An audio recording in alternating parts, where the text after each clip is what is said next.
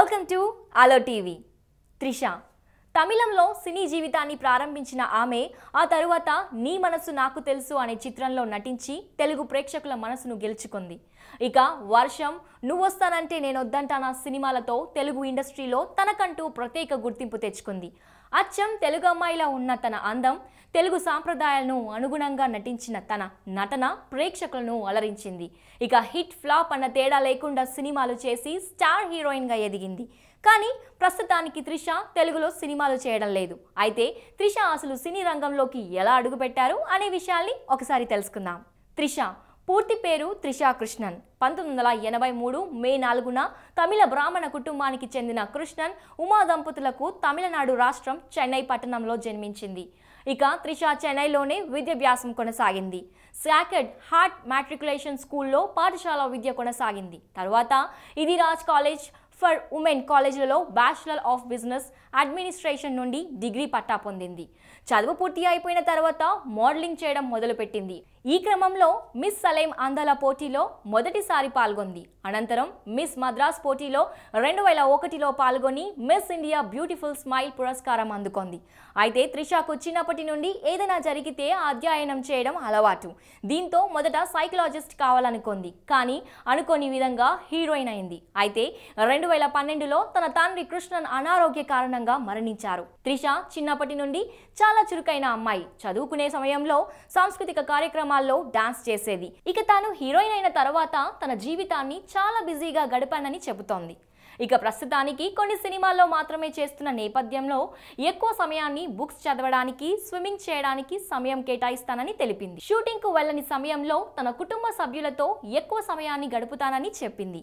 అయితే కొన్ని రోజుల క్రితం త్రిషకు ప్రముఖ బిజినెస్ మ్యాన్ వరుణ్ మానియన్తో నిశ్చితార్థం కూడా అయిపోయిన తర్వాత వారిద్దరూ విడిపోయారు. అయితే తన కాబోయే భర్త పెద్దగా అందగాడేమీ అవసరం లేదని కేవలం తనను బాగా చూసుకునేవాడైతే చాలంటుంది త్రిష. హీరోలా ఉండాలనే రిక్వైర్మెంట్స్ కూడా లేవని నిజానికి తనకు నలుపు అంటే ఇష్టమని చెబుతోంది. కాబోయేవాడు నలుపైనా పర్లేదని చెప్తోంది. అయితే ఇంట్లో చూపించిన అబ్బాయిని మాత్రం చస్తే చేసుకోనని తెగేసి చెప్తోంది. ప్రేమ వివాహమే చేసుకుంటానని క్లారిటీ ఇచ్చింది. మొత్తానికి ప్రేమ వివాహం చేసుకుంటానని తెలియజేసింది. ఇక చదువు పూర్తి అయిన తర్వాత మోడలింగ్ చేస్తున్న సమయంలో ప్రముఖ సింగర్ పాల్గొని పాతక్ పాడిన ఒక పాటలో హీరోయిన్ ఆయేషా ఠాకియాకి చెల్లెలుగా నటించింది. ఇక ఈ వీడియోలో త్రిషాను చూసిన దర్శకుడు ప్రియదర్శన్ తమిళ సినిమాల్లో హీరోయిన్గా తీసుకోవడానికి ఆమెను సంప్రదించారు. దీంతో తన తల్లిదండ్రుల అభిప్రాయం తీసుకున్న త్రిష ఆ సినిమాలో చేయడానికి ఒప్పుకుంది. ఈ క్రమంలో రెండు వేల మూడులో త్రిష మొదటిసారి తమిళంలో లెస్సా లెస్సా అనే సినిమాలో నటించింది. అయితే ఈ సినిమా చేస్తున్న తరుణంలో నటించడానికి చాలా కష్టపడిందట. ఒక డైలాగ్ చెప్పడానికి చాలా టేక్లు తీసుకునేదట. అలాగే ఒకవైపు షూటింగ్ చేస్తూనే మరోవైపు యాక్టింగ్ నేర్చుకోవడానికి వెళ్ళేదానని తెలియజేసింది. అయితే ఈ చిత్రం ప్రచార పోస్టును చూసిన దర్శకుడు జ్యోతికృష్ణ ఈ నాకు ట్వంటీ ఉనాకు ఎయిటీన్ అనే సినిమాలో అవకాశం ఇచ్చారు దీంతో ఈ సినిమాలో కూడా త్రిష నటించింది. కానీ రెండు సినిమాలు విడుదల ఆలస్యం అయ్యాయి ఆ తర్వాత అమీర్ యొక్క మౌనం పేసియార్ హీరో సూర్యతో చేసిన ఈ చిత్రం బాక్స్ ఆఫీస్ వద్ద ఒక మోస్తారు విజయాన్ని సాధించింది. ఇక మొదటిసారి ఈ సినిమా వెండితెరపై కనిపించిన త్రిష నటనకు వీక్షకుల నుండి ప్రశంసలు లభించాయి. తదుపరి హరి దర్శకత్వం వహించిన పోలీసు చిత్రం సామి భారీ విజయాన్ని సాధించి ఆ సంవత్సరం బ్లాక్ బస్టర్గా నిలిచింది. ఇక హీరో విక్రమ్ సరసన చేసిన త్రిషాకు ఈ సినిమా బ్రేక్ తెచ్చిపెట్టింది. దీంతో త్రిషాకు హీరోయిన్గా అవకాశాలు తనను వెతుక్కుంటూ వచ్చాయి. ఆ తర్వాత ఆమె మొదట చేసిన లెస్సా లెస్సా ఇనాకు ట్వంటీ ఉనాకు ఎయిటీన్ సినిమాలు విడుదలైన ప్రేక్షకులను ఆకట్టుకోలేకపోయాయి. ఇక రెండు వేల మూడులో నీ మనసు నాకు తెలుసు సినిమాలో తరుణ్ సరసన మొదటిసారి నటించి తెలుగు ప్రేక్షకులకు పరిచయం అయింది. అయితే ఈ చిత్రం మాత్రం ఫెయిల్ అయింది. ఆ తర్వాత ఎంఎస్ రాజు దర్శకత్వంలో వచ్చిన వర్షం సినిమాలో హీరోగా ప్రభాస్కు జోడీగా జతకట్టింది. ఈ సినిమా నూట డెబ్బై ఐదు రోజులకు పైగా థియేటర్లలో ఆడి సంచలనాత్మక హిట్గా నిలిచింది. అంతేకాదు త్రిష నటనకు తెలుగు ఫిలింఫేర్ అవార్డు ఉత్తమ నటిగా సంతోషం అవార్డు లభించాయి. అనంతరం తమిళంలో రెండు చిత్రాల్లో చేసినప్పటికీ ఆ సినిమాలను ప్రేక్షకులు ఆదరించలేదు. ఆ తర్వాత హీరో సూర్యతో చేసిన ఆరు సినిమా తెలుగు తమిళ భాషల్లో మంచి కమర్షియల్ హిట్ అయింది. అనంతరం తెలుగులో వచ్చిన నువ్వొస్తానంటే నేను వద్దంటానా సినిమాలో హీరో సిద్ధార్థ్ సరసన చేసింది. ఈ సినిమాలో పల్లెటూరు అమ్మాయిల చేసిన త్రిష నటనకు ప్రేక్షకులు ఫిదా అయ్యారు. కాగా చిత్రం భారీ విజయాన్ని అందుకుంది. అలాగే త్రిష ఫిలింఫేర్ నంది అవార్డులు కూడా అందుకుంది. తదుపరి ప్రభుదేవ దర్శకత్వం వహించిన పౌర్ణమి సినిమా రెండోసారి హీరోగా ప్రభాస్తో జోడీ కట్టింది. ఈ చిత్రం కూడా బాక్స్ ఆఫీస్ వద్ద వసూళ్ళ వర్షం కురిపించింది. ఈ సినిమాలో త్రిష తన అందాలను ఆరబోసిందని చెప్పొచ్చు. తదుపరి తమిళంలో చేసిన ఏమాయ చేసావే సినిమాలో నటించింది. కాగా ఈ సినిమా కూడా మంచి హిట్ అందుకుంది. ఆ తర్వాత వచ్చిన ఆడువారి మాటలకు అర్థాలే వేరులే. కృష్ణ అతడు సినిమాలకు కూడా కమర్షియల్ హిట్గా నిలిచాయి.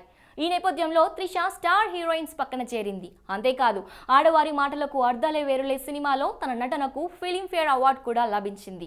ఇక ముచ్చటగా మూడోసారి ప్రభాస్తో చేసిన బుజ్జిగాడు సినిమా మాత్రం ప్రేక్షకులు ఆదరించలేదు. అనంతరం నాగార్జునతో చేసిన King cinema blockbuster hit అయింది. తర్వాత వచ్చిన శంఖం సినిమాలో గోపిచంద్తో నటించగా వెంకటేష్తో నమో వెంకటేశాయ పవన్ కళ్యాణ్తో తీన్మార్ మెగాస్టార్ చిరంజీవితో స్టాలిన్ సినిమాలలో చేసింది. అయితే ఈ మూడు సినిమా సినిమాలు అంత పెద్దగా థియేటర్లలో ఆడలేదు. కానీ త్రిష నటనకు మాత్రం వీక్షకుల నుండి ప్రశంసలు లభించాయి. అదే సమయంలో తమిళంలో చేసిన సినిమాలు మాత్రం హిట్ అందుకున్నాయి. దీంతో త్రిష తమిళంలో కూడా స్టార్ హీరోయిన్గా ఎదిగింది. ఆ తర్వాత తమిళంలో ఎన్ఐ ఎరిందల్ తుంగవరణం భూలోహనం సినిమాలలో చేసి తన నటనకున్న ప్రత్యేకతను తమిళ ప్రజలకు చాటి చెప్పింది. అనంతరం రెండు వేల పన్నెండులో తెలుగులో వచ్చిన దమ్ము సినిమాలో జూనియర్ ఎన్టీఆర్కు జోడీగా చేయగా బాడీగార్డ్ సినిమాలో వెంకటేష్ సరసన నటించింది. అలాగే బాలకృష్ణతో లయన్ సినిమాలో నటించింది. అయితే ఈ సినిమాలు మాత్రం యావరేజ్గా నడిచాయి. రెండు వేల నాలుగు నుండి రెండు వేల పన్నెండు వరకు తెలుగు సినీ పరిశ్రమలో త్రిష తనకంటూ ప్రత్యేక గుర్తింపు తెచ్చుకుంది. ఇక రెండు వేల పన్నెండు నుండి త్రిషకు తెలుగులో ప్రస్తుతం ఆమెకు అవకాశాలు రావడం లేదు. ఇటీవల లేడీ ఓరియంటెడ్ నాయక్ సినిమా చేసినప్పటికీ ఈ చిత్రాన్ని ప్రేక్షకులు ఆదరించలేదు. అయితే త్రిష నటనకు మాత్రం ప్రశంసలు లభించాయి. ఇక మొత్తానికి అనుకోకుండా సినీ పరిశ్రమలోకి వచ్చిన త్రిష తన నటనతో ప్రేక్షకులను అలరించి నటీమణిగా తనకంటూ ప్రత్యేక పేరు ప్రతిష్టలు తెచ్చుకుంది. ఇక రాబోయే రోజుల్లో త్రిష మరెన్నో సినిమాలు చేసి ప్రజల ప్రశంసలు పొందాలని ఆశిద్దాం. అలాగే మంచి జీవిత భాగస్వామిని ఎంచుకొని తన జీవితాన్ని ఆనందంగా గడపాలని కోరుకుందాం.